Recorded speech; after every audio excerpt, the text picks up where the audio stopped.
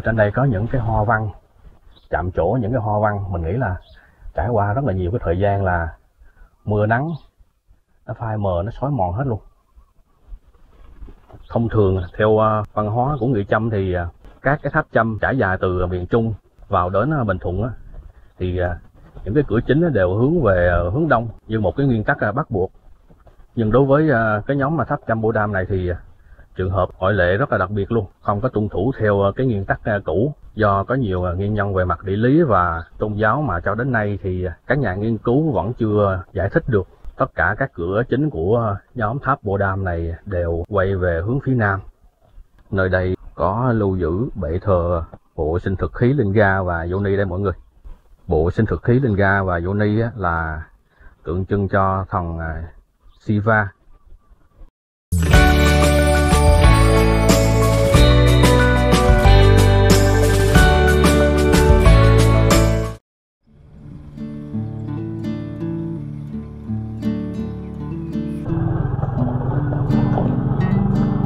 Chào quý khán giả, quý anh chị và tất cả các bạn ha.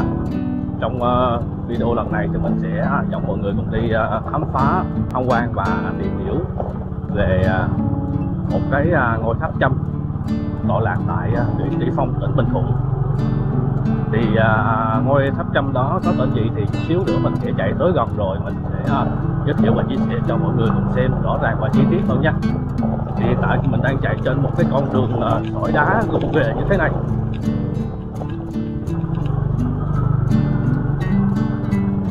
Phía dưới đây là đây xe lửa mọi người.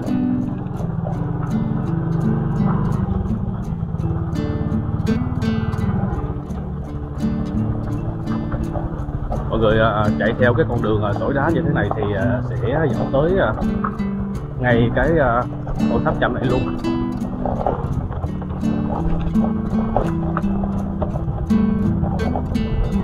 Đến rồi mọi người. Phía trước này có một cái bãi à, đắp trống. Mình thấy ở đây có một cái à, lối lên đây. Bây giờ để vào đây à, để xe nha. Trời buổi chiều hôm nay khá là dịu mát mọi người. Thì ngôi tháp trăm này nằm cạnh bên đường ray xe lửa luôn thì à, xin giới thiệu với mọi người đây là tháp chăm Bồ Đam tọa lạc tại à, huyện tây Phong, tỉnh Bình Thuận. Phía trước cái à, ngay cái khu đất trống này có một cái tấm bia với những cái nội dung khá là dài ở đây, bao gồm hai ngôn ngữ tiếng Việt và tiếng Anh. Lối lên là những cái bậc à, tam cấp như thế này nè. Khá là dốc đứng luôn.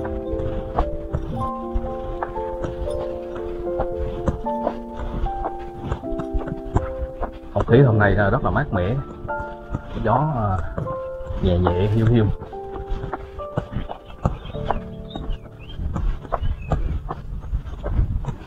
Có một cái tảng đá rất là lớn, được đặt trang nghiêm ở chính giữa đây không được ngồi trên đá bia.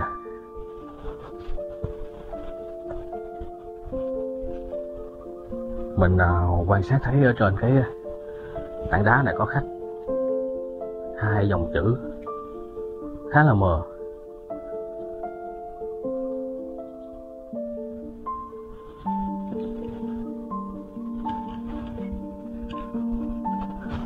Ba năm trước thì à, mình đến đây thì cái à, cái à, gian nhà này à, chưa có được à, xây xong đâu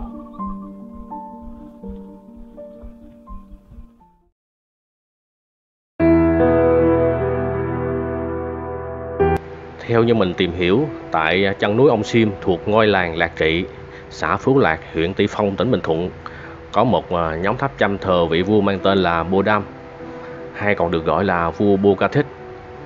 Ông là người có công lớn trong việc à, giúp dân làm hệ thống thủy lợi, an tâm canh tác, phát triển nền văn minh vào thời điểm đó. Thì à, nhóm tháp chăm Bồ Đam này được à, xây dựng vào đầu thế kỷ thứ 8 đến cuối thế kỷ thứ 9 theo phong cách nghệ thuật Họ Lai, một trong những phong cách kiến trúc nghệ thuật của vương quốc Champa xưa. tháp Bodam là một trong những cụm tháp cổ và có cấu trúc kỳ lạ nhất trong nền kiến trúc cổ Champa ở vùng cực nam của à, vương quốc này. Khi xưa thì à, nhóm tháp Chambodam bao gồm à, 6 tháp, nhưng về sau thì chỉ còn lại 4 tháp tương đối nguyên vẹn. Còn hai tháp còn lại thì chỉ còn phần nền móng gạch vỡ. Trong đợt khai quật khảo cổ diễn rộng vào năm 2013 2014 thì các nhà khảo cổ cũng đã phát hiện thêm nhiều hạng mục kiến trúc và hiện vật độc đáo. Đó là nền móng tháp cổng à, Gobora và nền móng nhà dài Mandapa lớn hơn các tháp hiện có. Và có cùng một tấm bia đá khắc bằng chữ Phạn, ghi niên đại xây dựng vào năm 710 sau công nguyên. Vào năm 2012 đến 2016 thì các tháp được tu bổ tôn tạo theo hình dáng kiến trúc khởi tạo ban đầu. Và bên cạnh đó thì à, Nhóm tháp có bệ thờ sinh thực khí Linga và Yoni bằng chất liệu đá nguyên khối, tượng trưng cho thần Siva. Hình dáng và kết cấu giống như ở tháp Bosanu Phan Thiết nhưng à, kích thước nhỏ hơn nhiều.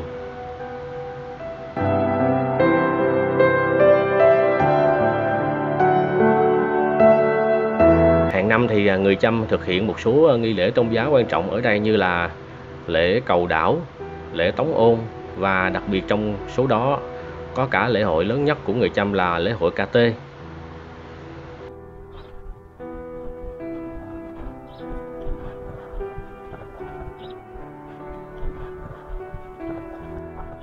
Nhóm đền tháp Chăm Bồ Đam này có cái lối kiến trúc ờ, theo ờ, phong cách Hòa Lai ở Ninh Thuận mà mình thấy có cái điều đặc biệt là nhóm đền tháp Chăm này có cửa ờ, xây về hướng à, phía nam.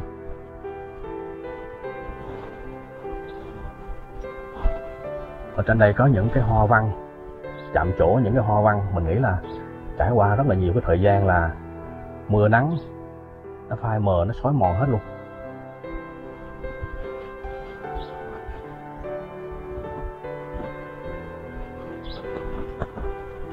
Đây cũng là một trong ờ, số những cái ngôi tháp chăm ở đây.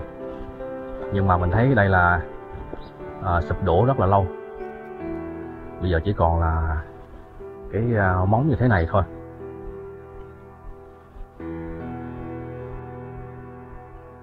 Phía bên trên đây là ngọn núi sim.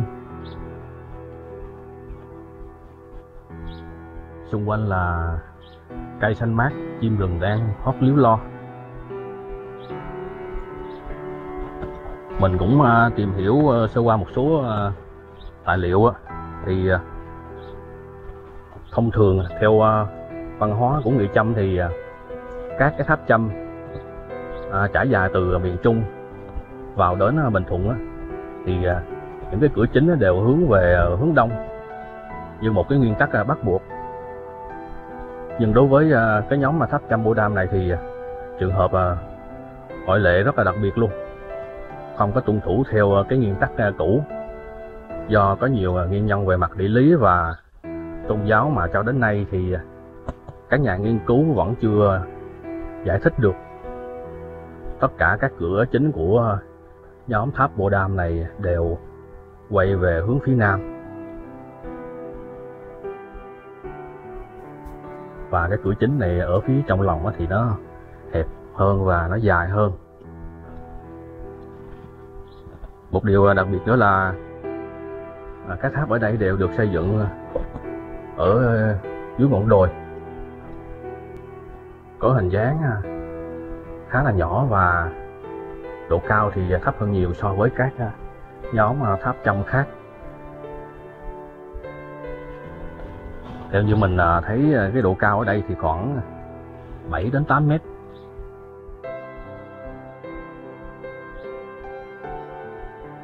Bề ngang à, mỗi cạnh đáy thì khoảng 3 mét đến 3 mét rưỡi thôi.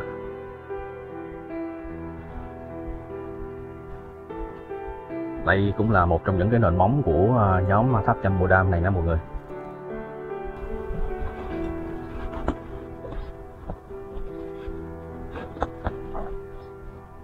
Đây thì à, nhìn lên à, phía trên không có mái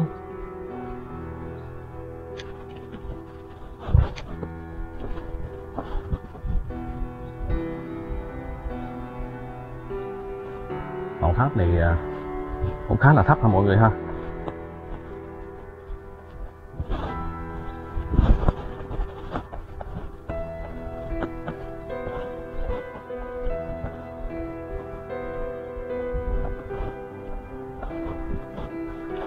Để mình đi uh, dạo một vòng cho mọi người cùng uh, xem ha. Trước khi mà mình quay cái video này thì mình cũng uh, tìm hiểu một số cái tài liệu như là tài liệu uh, uh, dân tộc Tràm Sử Lược. Xuất bản năm 1965 thì uh, Bô Đam là con của uh, Bồ Ba Ri Chanh. Còn ở sách dẫn phụ lục biên niên sử Hòn Gia Tràm thì cho rằng Bo Barichan à, chỉ kế vị Bo Bintho có nghĩa là chế bồng Nga từ năm 1373 đến năm 1397 còn à, Bo Bô chỉ vị từ năm 1433 đến năm 1460 Tuy nhiên thì à, theo cái thuyết này thì à, thời gian làm vua của Bo Bin tức là chế bồng Nga bị lệch mất 17 năm so với sử Việt từng nêu. Vua Champa chế bồng Nga tử trận vào năm 1000 390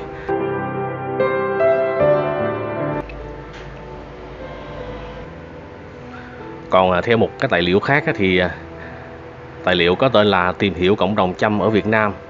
Do tác giả Nguyễn Văn Huy viết thì à, Bô Đam làm vua Chăm Ba từ năm 1458 đến năm 1460 thì theo thuyết này Bô Đam cũng là con của vua Bô Ba Ra Chanh có thể là do cách à, phát âm có chút à, sai lệch giữa à, Parachan và Parichan.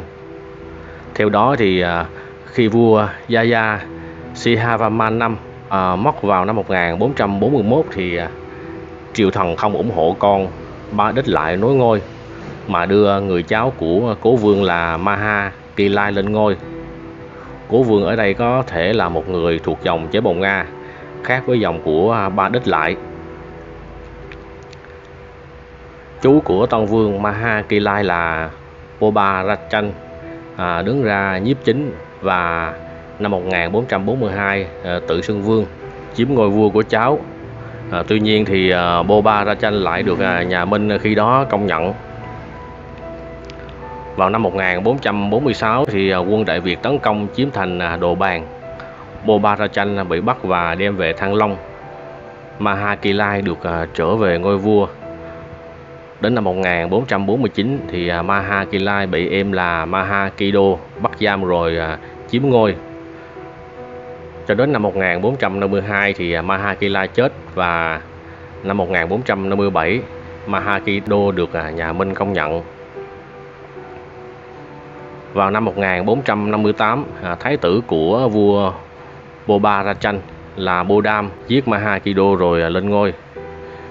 Như vậy thì trong 12 năm từ khi ờ, uh, Boba bị bắt, tình hình ờ, Champa rất là phức tạp cho tới khi ờ, Bodam giành lại ngôi vua. Bodam ở ngôi vua không lâu thì năm 1460 truyền lại ngôi cho em là Trà Toàn, rồi sau đó không thấy được nhắc đến nữa.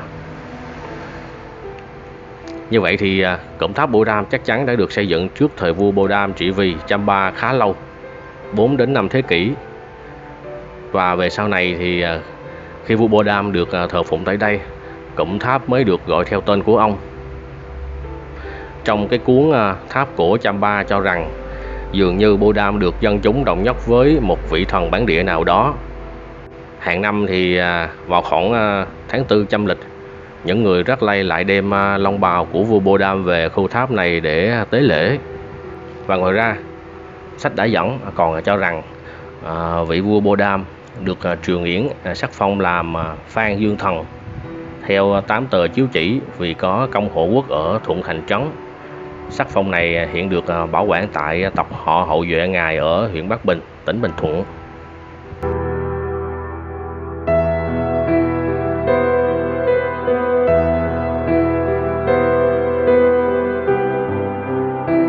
Mình thấy đây cũng là cái nền móng mà móng của uh, tháp nè.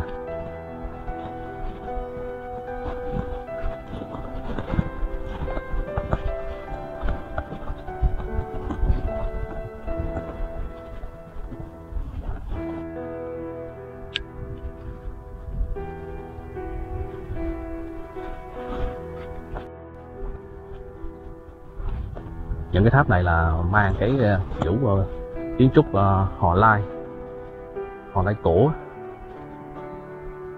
Đây là nền móng này, mọi người. Mình nghĩ khi xưa đây là cái tháp mà rất là lớn luôn. Cửa chính là xây về hướng nam, cửa chính bên kia. Cửa chính bên kia. Chiều sâu à, cái này là không gian này à, lớn hơn à, những cái tháp bên này.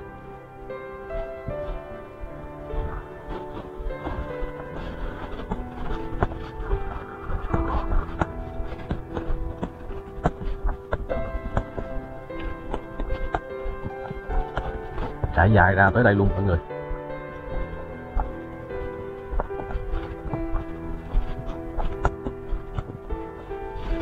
Còn à, những cái vết tích của à, gạch đá đây.